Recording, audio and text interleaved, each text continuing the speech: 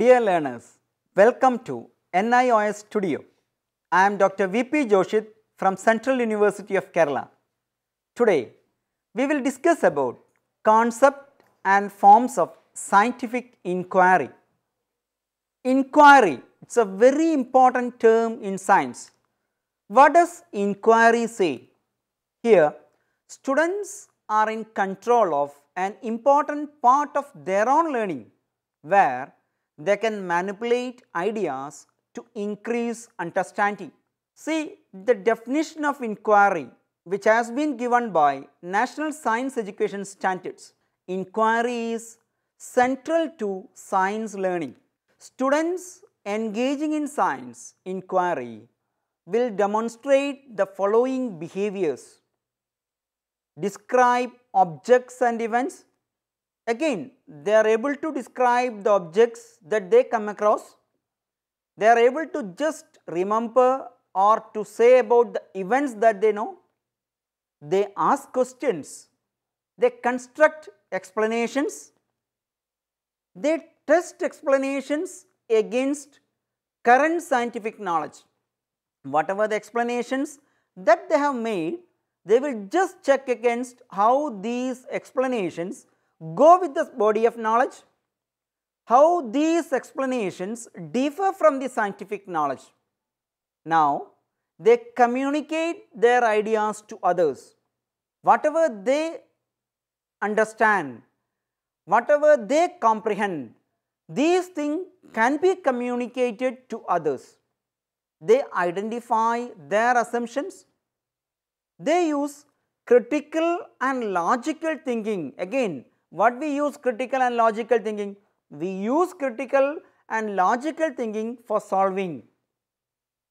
They consider alternate explanations. So, these are the sets of behaviors which has been given by National Science Education Standards where they say these will be demonstrated by those people who just go with scientific inquiry. Now, again we come across the term inquiry. Inquiry as the creation of a classroom where students are engaged in essentially open-ended, student-centered hands-on activities. The definition has been given by Alan Colburn. See again, students are engaged in open-ended questions. Again, student-centered questions because whatever which come in their mind will be an output, will be just given as a reflection. Then how do they, they, they just, they just have a hands-on activities, they just try, they just try each and everything in the class so that they can give whatever the output it is. So, this has been the definition of inquiry given by Alan Colburn. Now, we will see what are the approaches to inquiry based instruction. Again, this classification has been given by Colburn. They are structured inquiry, guided inquiry, open inquiry and learning cycle. So, the four important things just I repeat the structured inquiry, guided inquiry, open inquiry and learning cycle. Now, we will see the steps in inquiry. In general, we have three important steps in inquiry that is question, investigate, communicate the results. So, the steps are question the thing, investigate the thing, then whatever you find out as a part of your investigation, you just communicate to an audience. So, this is the steps in scientific inquiry. Now, scientific inquiry. Scientific inquiry progresses through a continuous process of questioning, data collection, analysis and interpretation. So, again we have four important processes. One is questioning, another one is data collection, another one is analysis and the last it is interpretation where which we call it as analysis and interpretation together. Scientists use three types of investigations. One is descriptive investigation, another comparative investigation and third one experimental investigation. So, first they just go for description, they describe each and every characteristics, they describe each and every point so that they investigate something new from that. They compare with the existing one, they just see the similarity, they just see the differences and they just go for investigation. So, comparison is a mode of investigation. And last one, obviously it is science, we go for experimental investigation. So, we have three different types as we have seen like descriptive, comparative and experimental investigation. What is science inquiry? The science inquiry is the way of understanding the unknown. Those things which we are not familiar, those things is above our mind, those things is above our perception which we try to understand, understand from the existing things. This is the way of understanding the unknown. This is a stepping stone of scientific processes. We go for many different scientific processes and scientific inquiry is a stepping stone of many different scientific processes. It is the methods by which questions are answered. Again, as a student of science, many different questions which come in your mind. So, you have to respond to question and you have to ask question. So, how a person answer to a question based on the syntax, based on the logic he applies which we can call it as a step or a stage of scientific inquiry. It is a thoughtful and coordinated attempt to search out solution. Again, we say that scientific inquiry is a thoughtful process, it is a coordinated process and here on thoughtful coordination we come out with solution that is what is scientific inquiry. Now, we just see what are the features of scientific inquiry. Here, learner engages in scientifically oriented questions. Learner is always related to the questions which are normally scientifically in nature. Learner gives priority to what? Priority to evidence in responding to questions. Again, as a person of science, we never give priority to hearsays. Always the learner gives priority to evidence in responding. Learner formulates explanations from evidence. Again, we have some evidence. Based on the evidence that we have in our hand, we just formulate our explanations. Learner connects explanations to scientific knowledge.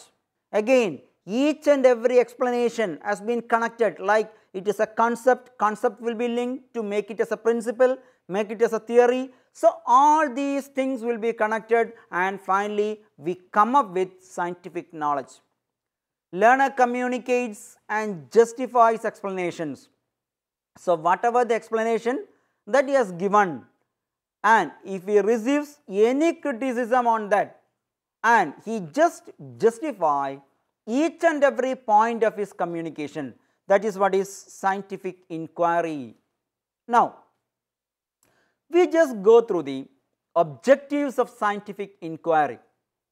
Scientific inquiry is flexible rather than involving one particular method. See again, teaching science through scientific inquiry is the cornerstone of good teaching. So, what we have told it is flexible and it is not like involving only one particular method and it is the cornerstone or it is the essence of good scientific teaching. The most traditional model of conducting scientific inquiry is known as scientific method. So, again we come with a new term. The term is known as scientific method, relatively similar, but it is again new the scientific method is a process for experimentation that is used to explore observations and answer questions. So, it is a process of experimentation which we use to explore observations and answer questions. A process like the scientific method that involves such backing up and repeating is called iterative process. So, scientific method has got a backing up process and we just do each and every step repeated because we want to get final proof, we want to prove and such process where which we do like this which we can call it as iterative process. Now, we just have the steps of scientific inquiry process. First, identify the problem or question. We have the problem or we have some questions, you do identify the question which becomes the first part of scientific inquiry. Collect background information related to the problem. Again, we just go like a review. We want to get each and every information, each and every information related to the problem which we call it as background information. Form a hypothesis. What do you mean by hypothesis? Hypothesis is a tentative solution. Hypothesis is our guess. Hypothesis is our intelligent guess. After that, with reference to the hypothesis that we have formed, we just test the hypothesis. So, testing the hypothesis is another stage and after testing the hypothesis, we just analyze our results. What are the results that we have got? We analyze each and every one.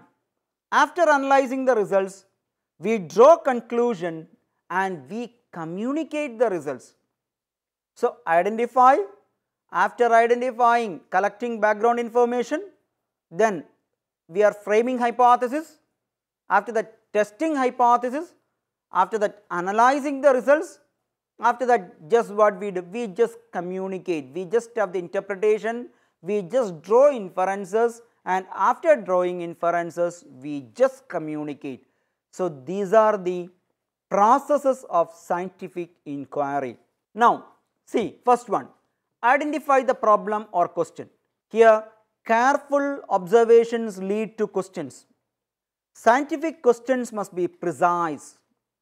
There are five categories of questions that science cannot answer because they are not testable. They are values, aesthetics, morality, religion and supernatural. So, all these five like values, aesthetic, morality, religion and supernatural there we do not go for any scientific testing. Second, See, collecting background information. Here what we do? Gather the existing facts and ideas from books, journals, previous studies, reportings, internet, all those sources and provide insight regarding our problem in question. Again, here we go for a detailed review. We collect information from all the sources maybe they are primary sources, maybe they will be secondary sources and after collecting information, we just give an insight to our problem or question. Now, third one, we form a hypothesis. So, the stage or the step is that form a hypothesis. A hypothesis is a prediction about the relationship between the variables that can be tested. Again I have already told hypothesis is a shrewd guess, hypothesis is an intelligent guess, hypothesis is a tentative solution.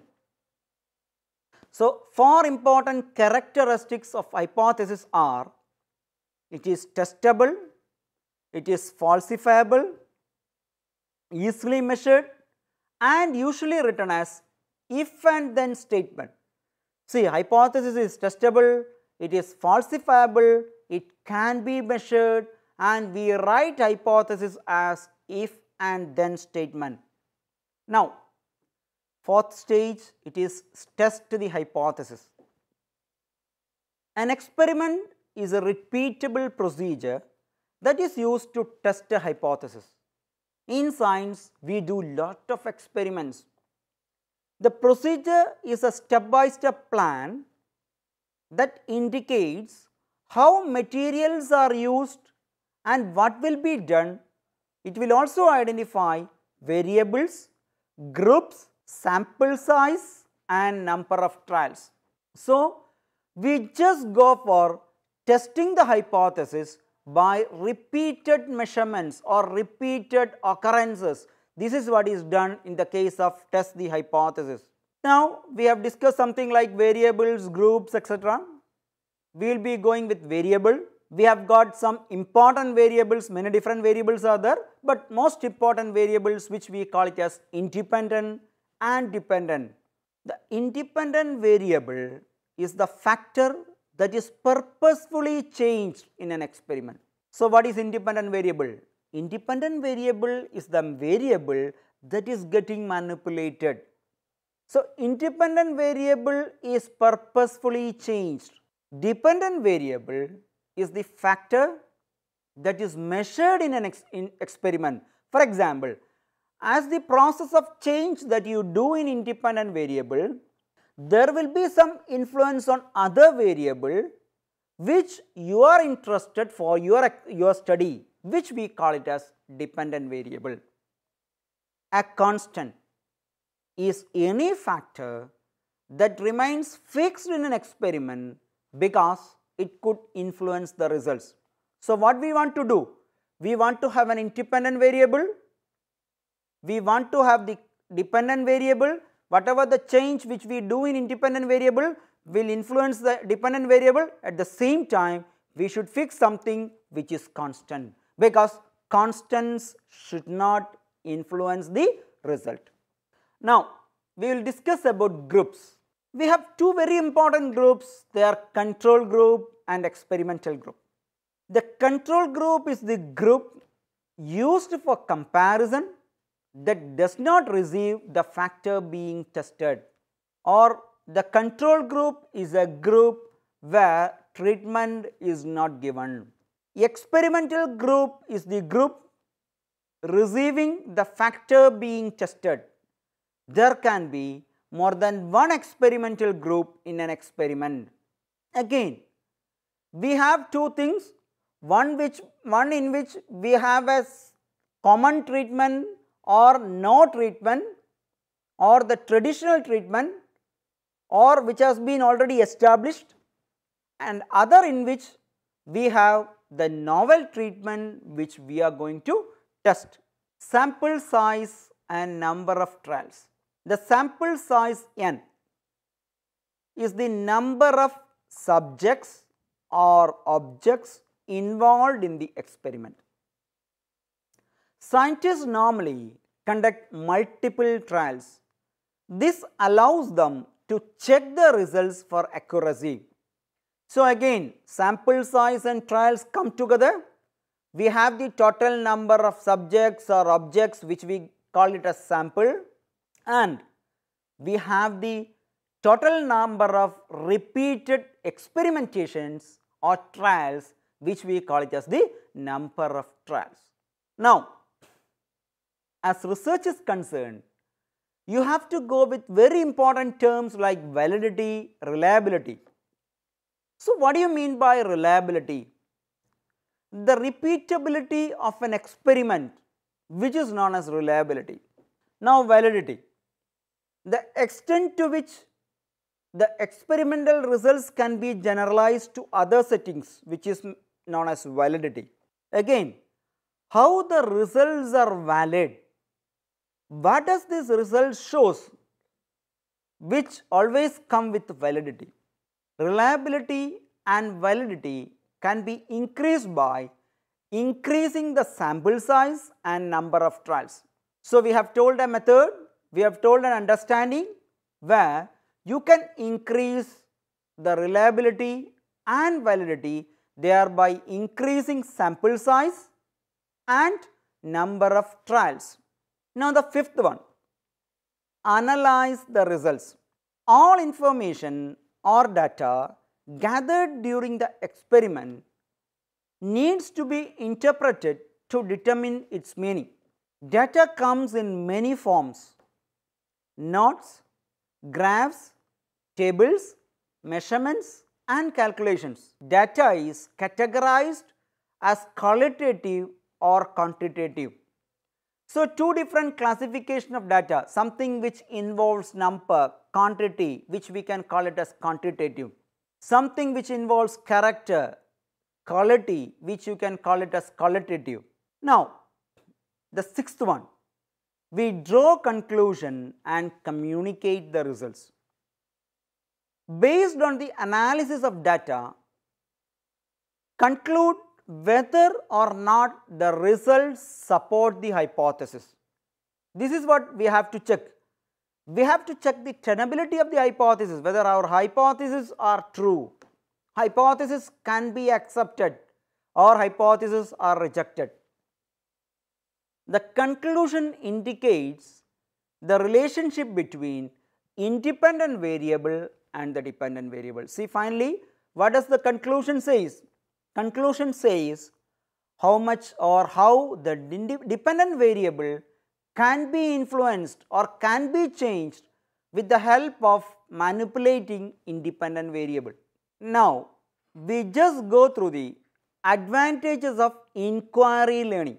Inquiry learning emphasis is on the process of gathering and processing more information, allows some degrees of freedom develops initiative and divergent thinking. It shows a sense of responsibility.